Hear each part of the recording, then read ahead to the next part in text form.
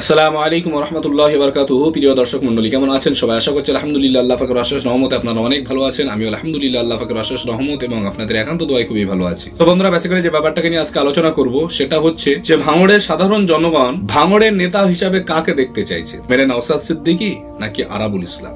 আজকে যে সমস্ত মানুষেরা যাদের চটি চারটে চারটে আজকে ভাইজানের বিরোধিতা করেন, নওশাদ সিদ্দিকির বিরোধিতা করেন, আমার বিরোধিতা করেন, আমার চ্যানেলের বিরোধিতা করেন, আমি আজকে তাদের উদ্দেশ্যে বলতে চাই যে আপনারা কাদের জন্য আমাদেরকে বিরোধিতা করেন, যার এখনও পর্যন্ত মুখের ভাষা পর্যন্ত ঠিক নেই। আপনাদের বিশ্বাস হচ্ছে না তো? তাহলে ভিডিওটা দেখুন।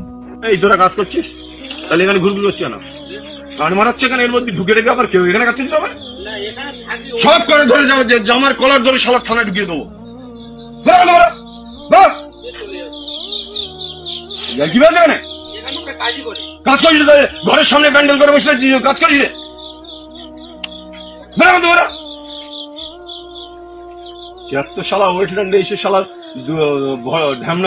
সো ভিডিওটা দেখলেন সম্পূর্ণরূপে। আপনাদের দেখে কি অনুধাবন হচ্ছে? যে মানুষটা একটা লেবারের সঙ্গে, একজন কর্মচারীর সঙ্গে এরকম করতে পারে, এই ধরনের করতে পারে, সেই ব্যক্তি আব্বাস সিদ্দিকি সিদ্দিকির বিরোধিতা করে। আমার বুঝে আসে না যে তারা কোন লজ্জায় আব্বাস সিদ্দিকির বিরোধিতা করে বা আমাদের বিরোধিতা করে। আর আজকে ওনাদের চোখে চোখ রেখে এমএলএ নওশাদ সিদ্দিকি ভাইজান তিনি কেমন অ্যাক্টিভিটিস নিয়ে চলছেন, সেই ভিডিওটা আপনারা দেখুন। এবং ভিডিওটা দেখলে শুধুমাত্র হবে না, আপনারা লাইক দিয়ে একটা শেয়ার করে দিন, যাতে করে এই ভিডিওটা ভাঙড়ের সাধারণ জনগণের কাছে এবং আরাবুল ইসলামের কাছ পর্যন্ত পৌঁছায়। সো বন্ধুরা, ভিডিওটা দেখুন। আজ পশ্চিমবাংলা বিধানসভায় মেনশন পর্বে মাননীয় ডেপুটি স্পিকার স্যারের মাধ্যমে রাজ্যের যুব কল্যাণ ও ক্রীড়া দপ্তরের ভারপ্রাপ্ত মন্ত্রী মহাশয়ের দৃষ্টি আকর্ষণ করলাম। ভাঙড় এলাকায় একটা উন্নত মানের স্পোর্টস কমপ্লেক্স তৈরি করার জন্য। ভাঙড়ের বহু প্রতিভা সম্পন্ন খেলোয়াড়রা আছেন যারা নিজেদের যোগ্যতায়, নিজেদের চেষ্টাতে রাজ্য স্তরে, জাতীয় স্তরে এবং আন্তর্জাতিক স্তরেও তাদের প্রতিভার বিকাশ ঘটাতে পেরেছেন। শুধু ভাঙরের নয়, রাজ্যেরও না উজ্জ্বল করেছে। কিন্তু দুঃখের বিষয় ভাঙরে একটা উন্নত মানের প্রশিক্ষণ শিবির নাই। তা যার ফলে তাদেরকে বাইরে, ভাঙড়ের বাইরে গিয়ে প্রশিক্ষণ নিতে হয়। অনেকের আর্থিক সঙ্গতি না থাকার ফলে তার মেধাগুলো ক্রমশ বিপথে ধাবিত হচ্ছে বা মেধাগুলো যথাযথ পরিস্ফুটিত করতে তারা পারছে না। তবে আমাদের দায়িত্ব থেকে থাকে, বর্তমান যুব সমাজ যেভাবে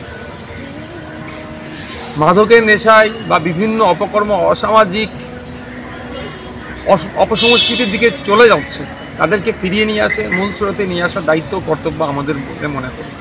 তাই তাদের ক্ষেত্রে যদি আমরা একটা খেলাধুলার সুষ্ঠু পরিবেশ উপহার দিতে পারি, একটা বড় কমপ্লেক্স উপহার দিতে পারি, তাহলে তারা তাদের সময়কে এখানে দেবে এবং তাদের মেধার বই প্রকাশ করার চেষ্টা করবে।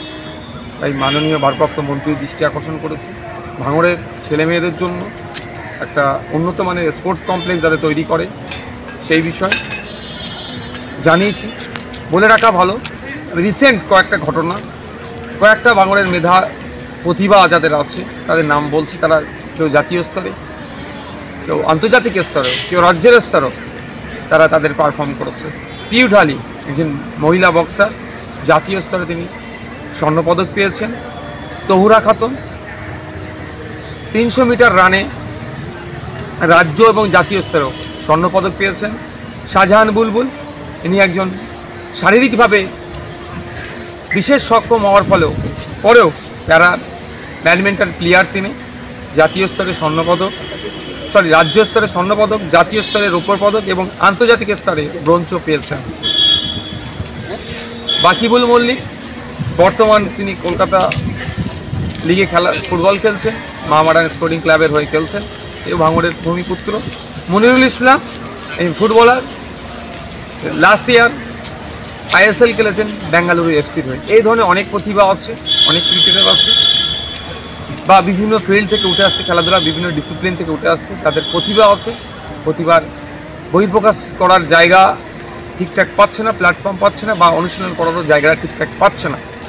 তো এদেরকে যদি অনুশীলন করার জায়গা, প্রশিক্ষণের জায়গা যদি ঠিকঠাক দেওয়া হয় কোচেসদের হাতে যদি দেওয়া হয়, এদেরকে ছাড়া হয়, তারা এরা শুধুমাত্র ভাঙন নয়, রাজ্যেরও মুখ উজ্জ্বল করবে। সাথে সাথে আন্তর্জাতিক ইন্টারন্যাশনাল ম্যাচের ক্ষেত্রে ইন্টারন্যাশনাল লেভেলেও গিয়েও দেশের নাম উজ্জ্বল করবে। আমি আশা করব মাননীয় মন্ত্রী মহাশয়ের কাছে যে অবিলম্বে ভাঙড়ে একটা উন্নত মানের স্পোর্টস কমপ্লেক্স দিয়ে ভাঙড়বাসীকে উপকৃত করবে এবং রাজ্যবাসীর নাম উজ্জ্বল করার জন্য সহযোগিতা করবে।